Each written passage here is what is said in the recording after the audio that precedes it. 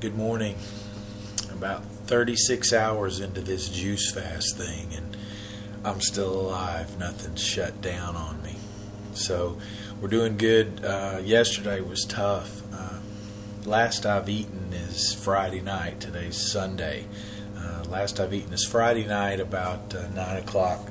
So I'm doing all right. We uh, it was tough making it through men's prayer breakfast yesterday, uh, cooking bacon and sausage and eggs and biscuits and gravy. Uh, didn't have any. It was a good thing. Then uh, got hungry when the wife and kids ate. It was tough to pass up the 25 cent uh, hot dogs down here at the new 7-Eleven.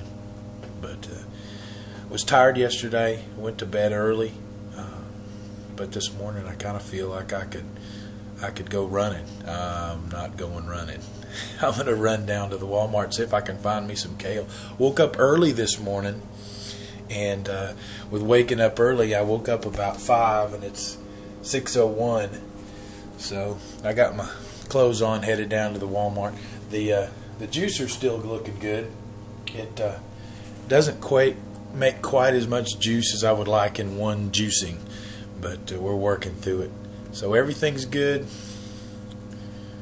Making it through this thing. I'll keep you guys advised of how it's going. All right, later.